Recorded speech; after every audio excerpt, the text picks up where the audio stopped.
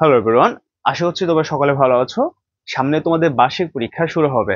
তো আমরা আজকে বিস্তার পরিমাপ এই অধ্যায়টা নিয়ে আলোচনা করব। আমরা এই অধ্যায়টাকে কয়েকটা ভাগে বিভক্ত করেছি। তো প্রথম কয়েকটা ভাগে তোমার বেসিক আলোচনা করব এবং তারপর থেকে এই অধ্যায় আমরা সাজেশন দিব। এবং ওই সাজেশনটা দিব বাট এই অধ্যায় থেকে আমাদের ভালো করার জন্য আগে বেসিকগুলো তোমাকে শিখতে হবে ভালো মতো করতে হবে। তারপর হচ্ছে তোমাকে ওই সামনের যে সাজেশনগুলো দিব সেগুলো আয়ত্ত করতে হবে। তো আমরা আজকে শুরু করতেছি প্রথম ক্লাস আমরা টাইপ ওয়ান আলোচনা করব কেন্দ্রীয় প্রবণতা নিয়ে। তোমরা অবশ্যই জানো তোমাদের বইয়ে যে মূল বইটা আছে, ওইখানে এই কেন্দ্রীয় প্রবণতা, গড় মধ্য প্রচুরক তারপর হচ্ছে গড় ব্যবধান, বেদাঙ্ক ইত্যাদি অনেক বিষয় নিয়ে আলোচনা করা আছে। আমরা প্রত্যেকটা আইটেম আস্তে আস্তে শেষ করব। আজকে আমরা কেন্দ্রীয় প্রবণতা নিয়ে আলোচনা করব, যেখানে গড় মধ্য প্রচুরক এই তিনটা পার্ট থাকবে। আশা করছি এই তিনটা পার্ট থেকে তোমাদের পরীক্ষায় এমসিকিউ তারপর হচ্ছে ছোট প্রশ্ন অথবা সংক্ষিপ্ত প্রশ্ন, এক কথায় উত্তর সবকিছু কমন থাকবে। অর্থাৎ আজকের ক্লাসটা যে করবা, মোটামুটি সাত থেকে আট নাম্বার পরীক্ষায় পেয়ে যাওয়া গ্যারান্টি দিলাম হ্যাঁ? তো আমরা শুরু করতেছি, কেন্দ্রীয় প্রবণতা, আসলে জিনিসটা কি? কেন্দ্রীয় প্রবণতা। তো সংজ্ঞাটা আমি মুখে বলে দিচ্ছি, তোমরা একটু খাতায় অবশ্যই নোট করবা। কেন্দ্রীয় প্রবণতা। তো কেন্দ্রীয় কথাটা মানে আমরা বুঝি যে কেন্দ্রের দিকে। তো তোমরা শুধু এটা মনে রাখবা উপাত্ত সমূহ কেন্দ্রের মানের দিকে পুঞ্জীবিত হওয়ার প্রক্রিয়াকে কেন্দ্রীয় প্রবণতা বলে। তো তোমাদের বইতে অনেক বড় করে লেখা আছে বাট এতটুকু দিলেই হবে, কারণ আমাদের সংজ্ঞা আসবে না পরীক্ষায়। ঠিক আছে? কি লিখবা? কেন্দ্রীয় মানের দিকে সরি উপাত্ত সমূহ কেন্দ্রীয় মানের দিকে পুঞ্জীবিত হওয়ার প্রক্রিয়াকে কেন্দ্রীয় প্রবণতা বলে। তো এখন যে জিনিসটা আমি লিখব, যে কেন্দ্রীয় প্রবণতা তিন প্রকার হ্যাঁ? এটা গুরুত্বপূর্ণ। এটা এমসিকিউ আসতে পারে, যে কেন্দ্রীয় প্রবণতা কত প্রকার, এবং এক কথা উত্তর আসতে পারে, যে কেন্দ্রীয় প্রবণতা কত প্রকার এবং কি কি? তো আমরা সেটা লিখতেছি। তো কেন্দ্র প্রঙ্গ হলো কত প্রকার তিন প্রকার, ঠিক আছে? তো শুরু হলো কিন্তু আমাদের মেইন পার্ট তো এক নম্বর হচ্ছে কি বলতো? এক নম্বর হবে গড় অথবা গাণিতিক গড় গাণিতিক গড় অথবা অথবা সংক্ষিপ্ত পদ্ধতিতে গড় একই কথা হ্যাঁ? সংক্ষিপ্ত পদ্ধতিতে গড়। সংক্ষিপ্ত পদ্ধতিতে পদ্ধতিতে গড়, অথবা এখানে সহজে গড় নির্ণয়। তো এক এক জায়গায় একই নিয়ম বাট টোটাল সবগুলাই এক। গাড়িতে গড়টা একটু পার্ট আলাদা, আমরা করতেছি সেটা একটু পর। দুই নম্বর হবে মধ্যক। দুই নম্বর হবে কি? মধ্যক। তিন নম্বর হবে প্রচুরক। আশা করি তোমরা এতটুকু তিনটা বুঝতে পারছ। তো আমরা প্রথমে এখান থেকে মধ্যক নির্ণয় শিখব। এরপর প্রচুর নিয়ে শিখব লাস্টে হচ্ছে গণিনা শিখব কারণ গণিনা একটু আমাদের বক্স করতে হবে, একটু ঝামেলা আছে, ঠিক আছে? তো আমরা সহজ থেকে শুরু করব, মধ্য নির্ণয় শিখব মধ্য নির্ণয় কিন্তু তোমাদের যে সাজেশন পার্টটা আছে, আমাদের যে সাজেশন পার্টটা বের করেছে আমরা গণিতে, সেটা কিন্তু সকল অধ্যায়ে কিন্তু সাজেশন দিয়েছি। তোমরা যারা এখনও নেওনি, অবশ্যই নিবা। আমাদের হোয়াটসঅ্যাপ নাম্বারে যোগাযোগ করবা, এখানে দেওয়া আছে ডেসক্রিপশন বক্স ক্লিক করো। এই গ্রুপ দেওয়া আছে, অথবা আমাকে সরাসরি ইনবক্স করতে পারো। যাই হোক, আমরা এখন মধ্য শিখব তো আমরা এখান থেকে এই পার্ট থেকে শিখতে পারলাম যে কেন্দ্রীয় প্রবণতা তিন প্রকার, গড়, মধ্যক, প্রচুরক। এতটুকু মনে রাখবা, তাহলেই হবে। তো আমরা এতটুকু মুছে দিই। আশা করি তোমরা লেখছো। এখন আমরা মধ্যক নির্ণয় শিখব, ঠিক আছে? মধ্যক নির্ণয় আমরা শিখব। তো আমি এতটুকু মুছে দিই। তোমরা মধ্যক নির্ণয় শিখব। মধ্যক। ওকে। তো মনে রাখবা, মধ্যক তিন ভাবে নির্ণয় করা যায়। তিন ভাবে নির্ণয় করা যায়। মত কত ভাগে নির্ণয় করা যায়? তিন ভাগে তিন ভাবে কীভাবে? এক নাম্বার।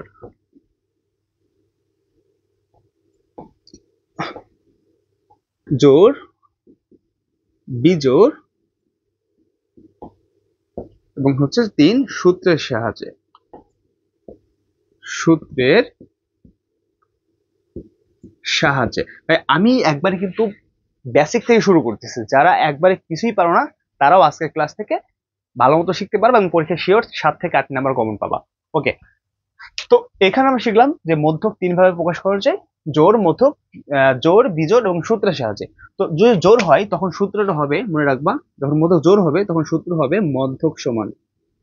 মধ্যক সমান এন বাই টু তম পদ ও N by two plus one তম পদের সমষ্টি বা যোগফল। তম পদের সমষ্টি সমষ্টি হ্যাঁ? একই কথা। ডিভাইডেড হচ্ছে টু এটি হলো আমাদের মধ্য যদি জোর হয়, তখন এই সূত্রটা। আর মধ্য যদি বিজোর হয়, তখন আমাদের সূত্র হবে মধ্যক সমান N plus one divided by two পদের সমষ্টি।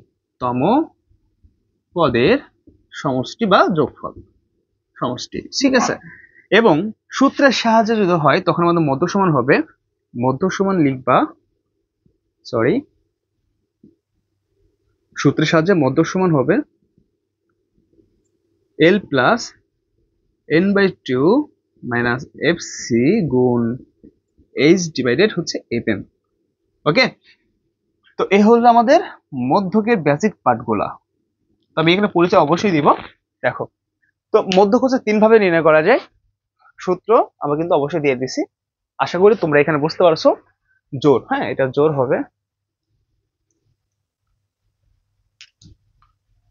সরি ঘামে হচ্ছে বোঝা যাচ্ছে না। ওকে জোর। তো জোর হলে সূত্র কি হবে ভাইয়া? এন বাই টু তম পদ এন বাই টু তম পদ plus N by two plus one তম পদের সমষ্টি ডিভাইডেড টু এটা হচ্ছে আমাদের মধ্যক জোর হলে ওকে আর মধ্যক যে বিজোড় হলে N plus one divided by two পদের সমষ্টি। এবং সূত্রের সাহায্যে হলে L plus N by two minus F C গুণ এইচ বাই এফ এম তো আমরা এই পার্ট বাই পার্ট আলোচনা করব। পার্ট বাই পার্ট আলোচনা করব। তো এতটুকু আমাদের নিয়ে কোনো ঝামেলা নাই। তিন নাম্বার একটু মনে রাখবা, এখানে এল হচ্ছে নির্মসীমা আমরা একটু পরিচয়টা পাশে লিখে দিই হ্যাঁ? এল মানে নির্মসীমা নির্মসীমা কি আমরা একটু পরে আলোচনা করব। তোমরা আগে এতটুকু লিখে রাখো। নির্মসীমা এরপর হচ্ছে আমাদের এইচ মানে শ্রেণি ব্যক্তি। শ্রেণি ব্যক্তি বা ব্যবধান, ঠিক আছে? এরপর এন এন আছে হ্যাঁ এন মানে গণসংখ্যা। এন মানে হচ্ছে কি? গণসংখ্যা। এরপর আমাদের এপএম এপএম হচ্ছে মধ্যক শ্রেণির গণসংখ্যা। মধ্যক শ্রেণির গণসংখ্যা। আমরা এগুলো নিয়ে অঙ্ক করব, আজকেই করব এই ক্লাসেই ঠিক আছে? এরপর এফসি হচ্ছে এই মধ্যক শ্রেণির ক্রমযোজিত গণসংখ্যার আগের ঘর। মধ্যক শ্রেণির ক্রম যোজিত ক্রম যোজিত গণসংখ্যার, আমি সংক্ষেপে লিখলাম, পূর্বের ঘর। পূর্বের পূর্বের ঘর। আমরা এতটুকু লেখা রাখো, আমরা অঙ্ক করলে পুরোপুরি ক্লিয়ার হয়ে যাবা। ঠিক আছে? করি দেখা যাচ্ছে। ওকে তো আমরা এই যে প্রথম থেকে শুরু করব, জোর থেকে শুরু করব, এবার বিজোর করব সাথে সূত্রের সাহায্য করব। ওকে তো শুরু করতেছি। তো আমরা মুছে দিলাম। আশা করি তোমরা এতটুকু খাতায় নোট করছ, যেখানে বুঝবা না অবশ্যই কমেন্ট করবা। আমরা বুঝাই দিব। ঠিক আছে? খুবই গরম। এবার ফ্যান চলতেছে, তারপরে গরম। ওকে আমরা এখন একটা অঙ্ক করব। ঠিক আছে? আমরা এখন একটা অঙ্ক করব সেই অঙ্কটা সমাধান করব। তবে একটা অঙ্ক উঠাই নেই। তো ওকে, আমরা এখানে একটা সংক্ষিপ্ত সংক্ষিপ্ত প্রশ্ন উঠালাম। এটা কিন্তু সংক্ষিপ্ত প্রশ্ন, খুবই গুরুত্বপূর্ণ। এই জাতীয় প্রশ্ন একটা পরীক্ষায় থাকবেই। ঠিক আছে? ভালো মতো পড়বা। তো আমরা আজকের ক্লাসের শেষের দিকে কিন্তু আমরা অবশ্যই সৃজনশীল প্র্যাকটিস করব মানে বড় প্রশ্ন টোটাল আমাদের এই অধ্যায় থেকে আর এই পার্ট থেকে টাইপ ওয়ান থেকে কি প্রশ্ন হতে পারে। তার পূর্ণাঙ্গ সাজেশন আমরা আজকে- ক্লাস থাকবে, এই কারণে ভিডিওটা সম্পূর্ণ যে দেখবা সেই পরীক্ষায় সাত থেকে আট নাম্বার পাবা তো আমরা এটা করতেছি নয়। তো অফ অল এটা কীভাবে করতে হবে? দেখো, এখানে যেই উপাত্তগুলো আছে, সেই উপাত্তগুলোকে আমরা ছোট থেকে বড় আকারে সাজাবো, অর্থাৎ মানের ঊর্ধ্বক্রমে সাজাবো। তো এখানে দুইটা টপিক আছে, আমাদের একটু বলে দেওয়া ভালো। ঊর্ধ্বক্রম আর অর্ধক্রম মনে রাখবা ঊর্ধ্বক্রম মানে ছোট থেকে বড় তুলের খাতে লিখে রাখো। ঊর্ধ্বক্রম মানে ছোট থেকে বড় আকারে সাজানো এবং অর্ধক্রম মানে বড় থেকে ছোট আকারে সাজানো। তো আমাদের এই এই সমস্ত সকল অঙ্গের ক্ষেত্রে ঊর্ধ্বক্রমে সাজাতে হয়। তো এখানে লিখব আমরা উপাত্তগুলোকে উপাত্ত গুলোকে ঊর্ধ্বক্রমে ঊর্ধ্বক্রমে সাজানো হলো। সাজানো হলো। তো ভাইয়া ঊর্ধ্বক্রম আমরা কি জানি? একটু আগে বললাম, ছোট থেকে বড় করে সাজানো হবে। এখানে সবথেকে ছোট মান কি আছে? সাত, তাই না? আমি এখানে করতেছি সাত। তারপর আছে কে? সাতের পর হচ্ছে আমাদের দেখতেছি পনেরো। পনেরো দুইবার আছে, এই একবার। এরপর হচ্ছে সাতের পর হচ্ছে উনিশ। উনিশের পর আমাদের দেখো তো কে আছে? সরি সাতের পর এখানে আট আছে, আট। সাত গেল, এই- সাত গেছে, এগুলা গেল আমাদের উনিশ গেছে তো এরপর আমাদের থাকে হচ্ছে তিপ্পান্ন উনপঞ্চাশ আমাদের এখানে তিপ্পান্ন থাকে এখন, তাই না? উনপঞ্চাশ উনপঞ্চাশ তারপর হচ্ছে তিপ্পান্ন, তারপর বাষট্টি, সাতাত্তর, পাঁচশো পঁচানব্বই। আমাদের কিন্তু এটা সাজানো হয়ে গেল স্যার আশা করি তোমরা খুব সুন্দর মতো সাজাতে পারবা। এটা একটা বাচ্চা, বাচ্চারাও পারে, বাচ্চা ছোট একটা কাজ, তাই না? তো আমাদের এখানে সাজানো শেষ। এখন কাজ, এখান থেকে দেখতে হবে তোমার এখানে কতগুলো পাত্র আছে। এখানে আমরা গুনি একটা, দুইটা, তিনটা, চারটা, পাঁচটা, ছয়টা, সাতটা, আটটা, নয়টা, দশটা। আমাদের এখানে দশটা পাত্র আছে। তো স্যার, এখন দশকে জোর সংখ্যা না বিজোড় সংখ্যা?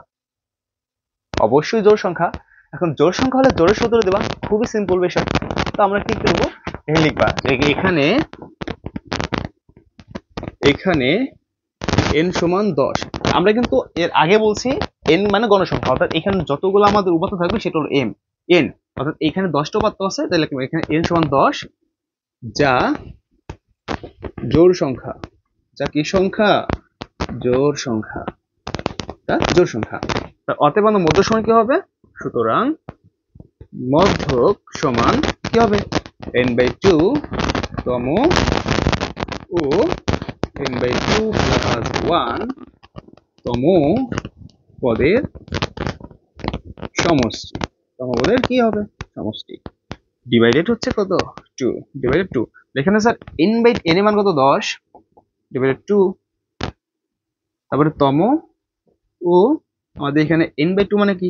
এন মান দশ আর টু আর যোগ হলো এক। আমি একবারে কিন্তু বেসিক ভাবে করতেছি, এখানে ডট দিলাম, তোমরা লিখে দিও। ডিভাইডেড টু তাহলে এখন দেখো স্যার দশকে দুই দ্বারা ভাগ করলে পাঁচ হয়। এখানে তম ও আমাদের দশকে দুই দ্বারা ভাগ করলে পাঁচ হয়, তার সাথে এক যোগ মানে ছয় হয়। ছয়তম আর এখানে নিচে কিন্তু দুই আছে, ভাগ দুই। তম পদের সমষ্টি। ঠিক আছে? পদের বলতে সমষ্টি।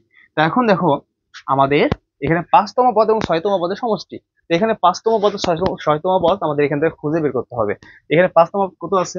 এক, দুই, তিন এক, দুই, তিন, চার, পাঁচ, উনিশ এবং ছয়তম পদ হচ্ছে উনপঞ্চাশ এখানে পাঁচতম পদের জায়গায় আমরা লিখব হচ্ছে উনিশ। দেখা যাচ্ছে নিচে? হ্যাঁ তাহলে আমরা পাঁচতম পদের এখানে লিখব হচ্ছে উনিশ। আর আমরা যদি সমষ্টি এখানে একটু যোগ দিব, আর ছয়তম পদ মানে হচ্ছে উনপঞ্চাশ উনপঞ্চাশ ডিভাইডেড হচ্ছে আমাদের দুই। শেষ। এখন এই উনপঞ্চাশ আর উনিশ যোগ করলে কত হয়? তাহলে আমাদের সবাই কিন্তু এখানে ভুল করব না। ক্যালকুলেটর নিবা। তাহলে উনপঞ্চাশ পঞ্চাশ, ষাট, কত? আটষট্টি। তাহলে আটষট্টিকে এখন দুইটা ভাগ করো। তাহলে এখানে আটষট্টি হইল এবং দুইটা ভাগ করো, কত হবে? দেখো তো। এখানে আমাদের আটষট্টিকে দুইটা ভাগ করো। তাহলে এখানে আসবে চৌত্রিশ। শেষ আমাদের এখানে আসবে কি? চৌত্রিশ। আর এটা হচ্ছে আমাদের অ্যান্সার ঠিক আছে? সবাই দেখো। মিলছে কিনা? তাহলে আমাদের কিন্তু এটা আমাদের মধ্য তাহলে আমাদের কিন্তু এখানে মধ্য পেলে কত উনপঞ্চাশ এই অঙ্কটা করলে আমাদের কিন্তু পরীক্ষায় মিনিমাম পাঁচ নাম্বার পাওয়া যাবে। দেখো, তোমরা এটা বুঝতে পারছ কিনা, অবশ্যই কমেন্ট করে জানাও। আশা করি এখানে না বোঝার কিছুই নেই, একবারে ইজি একটা প্রসেস তো এই হলো আমাদের জোরের নিয়ম। এখন আমরা একটা বিজোড় অঙ্ক করব। এই অঙ্কটাই আমরা বিজোড় করব, আমি এটা মুছে দিই। এখানে আমি এটাই হচ্ছে বিজোড় করব। দেখো কীভাবে করি তোমরা নতুন করে করবা, ধরো দুই নম্বর অঙ্ক। আমি এখানে আর একটা উপাত্ত এখানে বাড়াই দিলাম ধরো এখানে আমি দিলাম হচ্ছে চার। ঠিক আছে, এখানে একটা দিলাম, চার। আর এত রাশি আমাদের মধ্য বের করো। এখানে আমাদের এখানে চার হবে প্রথমে। এখানে আমাদের এখন এই সময় কি লিখব? এই সময় এগারো, যেহেতু একটা উপাত্ত বাড়াইছি, এগারো। এখন যা আমাদের কি সংখ্যা? বিজোড় সংখ্যা। যা বিজোড় সংখ্যা। কি সংখ্যা বিজোড় সংখ্যা। এখন বিজোড় সংখ্যা কি আমরা কি জানি আমাদের মধ্যক এটা আরও সহজ। মধ্যক সমান N plus one divided by two মান হচ্ছে এগারো যোগ হচ্ছে এক বাই টু অর্থাৎ এগারো আর এক কত? বারো বাই দুই। তাহলে এখানে কত দাঁড়াল? ছয়। তাহলে এখানে আমাদের কত দাঁড়াল? ছয় দাঁড়াল তাই না? তাই আমাদের এখানে ছয় অর্থাৎ ছয়তম পদ কি আছে? এখানে অবশ্যই লিখে দেবা যে ছয়তম পদ ছয়তম পদ। এখানে ছয়তম পদ মানে কি? এক, দুই, তিন, চার, পাঁচ, ছয় উনিশ। তাহলে আমাদের এখানে মধ্যক হবে উনিশ। শেষ। এটা হচ্ছে মধ্যক এটা অ্যান্সার সিম্পল যেখানে আর কি তুমি ভাগ করে এখানে যত পাবা ছয় পাইছি এবং ছয় তম পথ মানে এখান থেকে ছয়টা তম পথ যেটা হবে সেটাই আমাদের মধ্যক হয়ে গেল আমাদের জোর এবং বিজোর আমাদের বাকি থাকে কি? সূত্রের সাহায্যে তো এটা একটু ইম্পর্টেন্ট এবং পরীক্ষার আসার মতো অঙ্ক সৃজনশীলে পাবা, অর্থাৎ গ বিভাগে পাবা, যেখানে আর আকারে যে প্রশ্নগুলো থাকবে। তবে এটা মুছে দেই, একটু ওয়েট করো, আমরা এখন সূত্রের সাহায্যে এটা দেখব তো আমরা এখানে একটা অঙ্ক উড়িয়েছি তো তুমি একটা কথা মনে রাখবা, যে কখন তুমি সূত্রের সাহায্যে নির্ণয় করবা, বা কখন তুমি জোরে সূত্র দিয়ে করবা কখন বিজয় সূত্র করবা। তো মনে রাখবা যখন তোমার ডিরেক্টলি উপাত্ত দেওয়া থাকবে, যেমন আমরা একটু আগে যে অঙ্কটা করলাম ডিরেক্টলি উপাত্ত দেওয়া ছিল তো ওইভাবে থাকলে সূত্রের সাহায্যে করবা না, অর্থাৎ ওই জোর অথবা বিজয় সাহায্য করবা। আর যদি আমাদের এরকম সারণী থাকে বক্সের মধ্যে, তাহলে অবশ্যই ভাইয়া তোমাকে সূত্রের সাহায্যে মধ্য নির্ণয় করতে হবে, তা না হলে কিন্তু তোমাদের থাকবেই না। হবে না, অঙ্ক হবে না হ্যাঁ? তো আমরা এখন এটা সূত্রের সাহায্যে করব। তো এখানে আমাদের মধ্য নির্ণয় করার জন্য তিনটা জিনিস দরকার হবে, শ্রেণি ব্যক্তির গণসংখ্যা এবং ক্রমযোজিত গণসংখ্যা। তোমরা একটা খাতায় নোট করে লিখে রাখো যে মধ্য নির্ণয় করার জন্য সূত্রের সাহায্যে মধ্য নির্ণয় করার জন্য তিনটা জিনিস দরকার। সেটা কি? শ্রেণি ব্যক্তি গণসংখ্যা এবং ক্রমযোজিত গণসংখ্যা। সিম্পল ঠিক আছে? তো আমরা এখন এইটা মধ্য নির্ণয় করব। তো এখন আমরা এখানে যা যা দেওয়া আছে, তার থেকে একটা ঘর বেশি নিব। তখন একটা, দুইটা, তিনটা, চারটা, পাঁচটা, ছয়টা দেওয়া আছে, আমরা সাতটা ঘর বেশি নিব।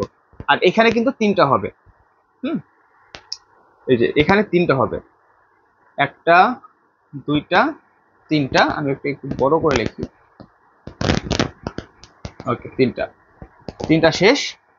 এবং এখানে সাতটা নেব। একটা, দুইটা, তিন, চার, পাঁচ, ছয়, সাত। হয়ে গেছে।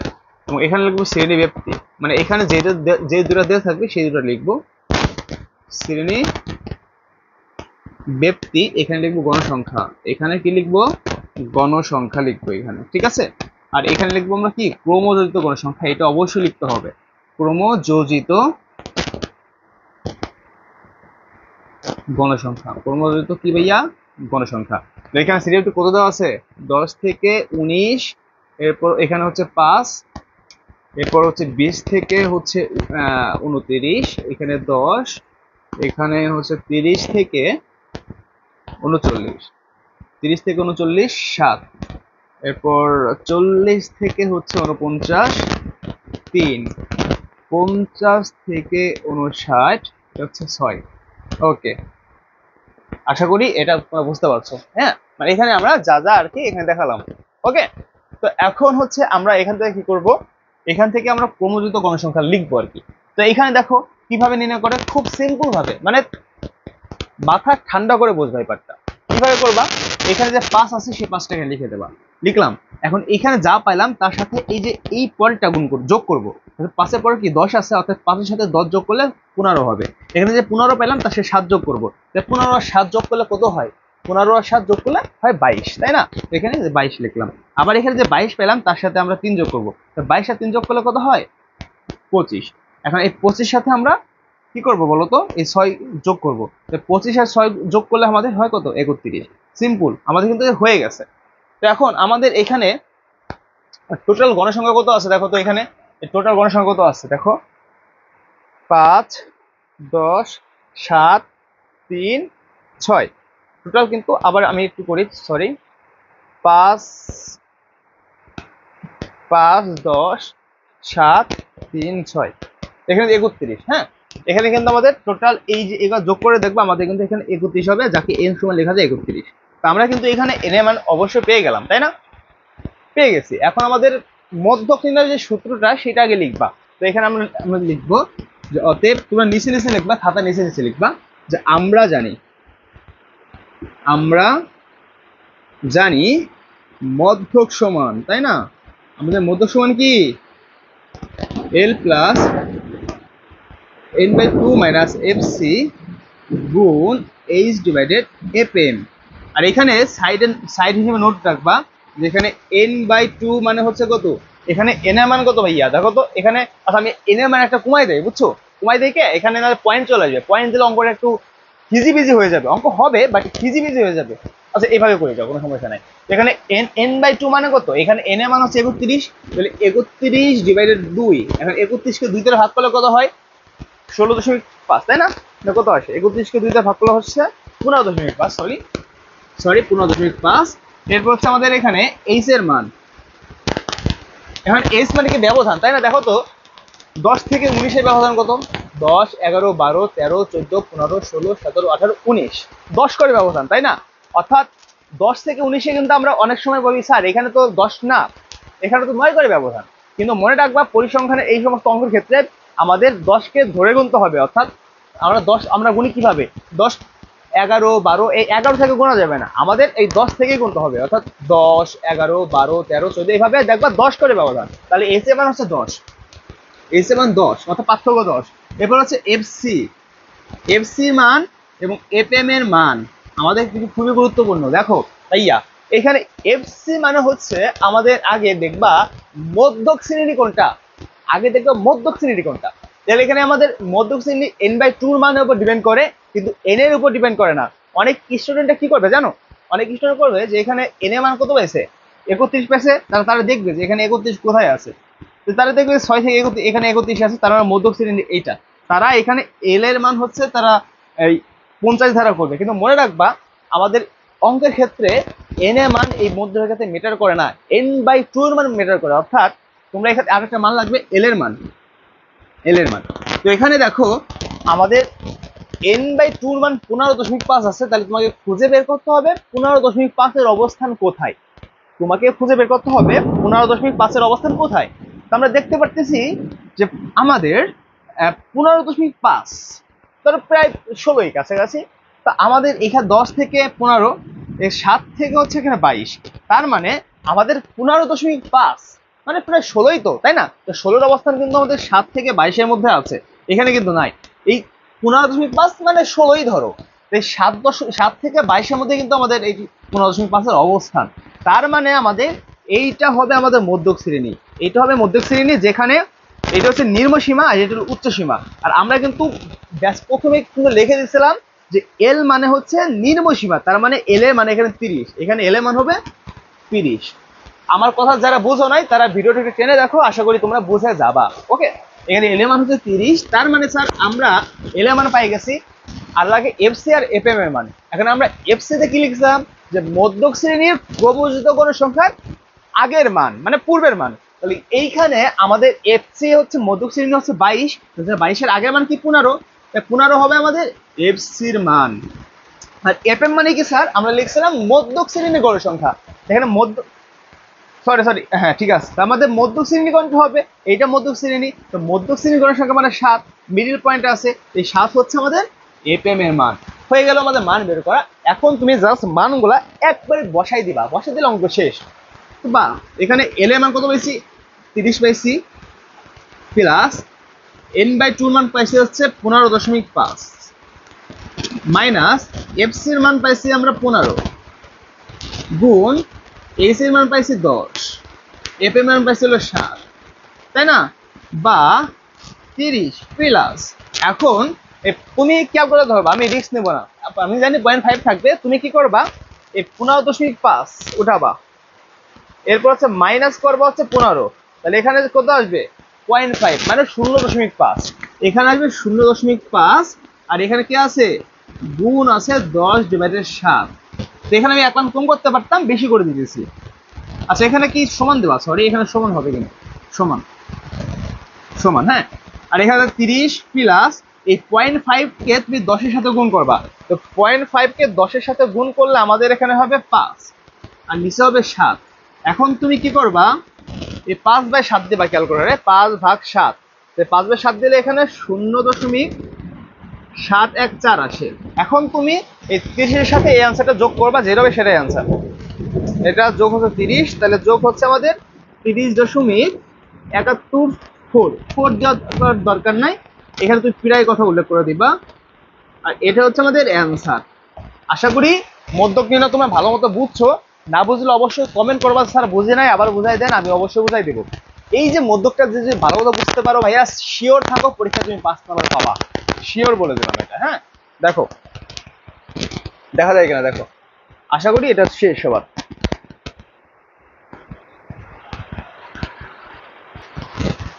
সুপ্রিয় শিক্ষার্থীরা, আমরা এখন প্রচুরক নির্ণয় শিখব যে কীভাবে প্রচুরক নির্ণয় করতে হয়। মধ্যকে কিন্তু পাঠ শেষ। ঠিক আছে? আমরা এখন প্রচুর শিখব যে প্রচুরক কীভাবে নির্ণয় করতে হয়। ঠিক আছে? প্রচুরক নির্ণয়।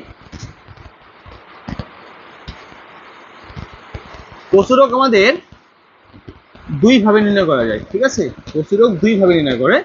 একটা হচ্ছে গণসংখ্যা দেখে। আচ্ছা উপাত্ত সব থেকে বেশি হলে।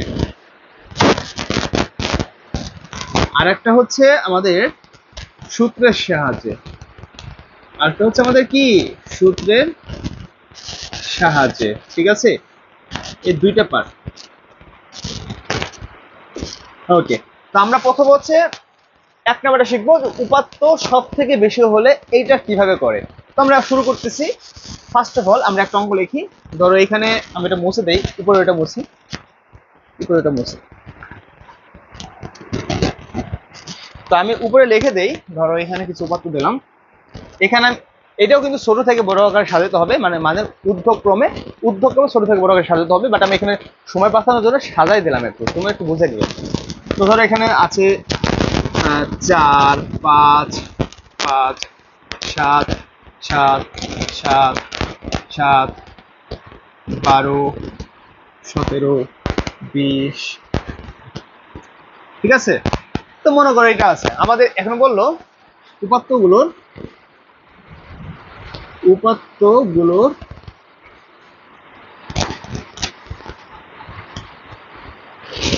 প্রচুরক নির্ণয় করো। উপাত্তগুলোর কি নির্ণয় করো ভাইয়া? প্রচুরক নির্ণয় করো। বলল হ্যাঁ তো তুমি এখন কীভাবে নির্ণয় করবা? আমি কিন্তু একটু আগে শিখাইছি যে কি করতে হবে। দেখবা যে এখানে উপাত্ত সব থেকে বেশি কোনটা আছে?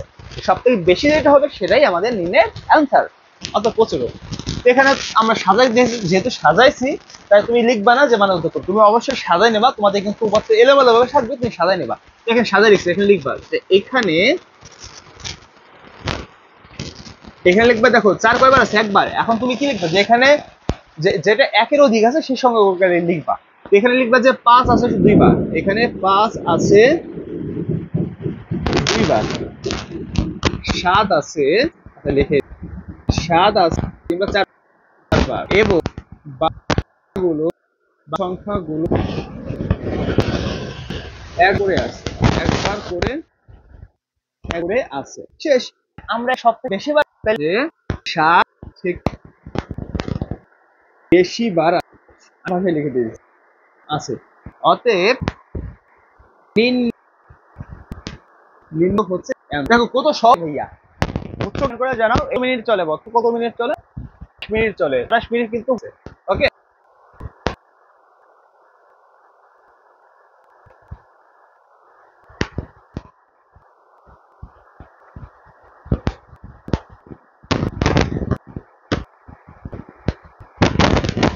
কি হলো বুঝলাম না।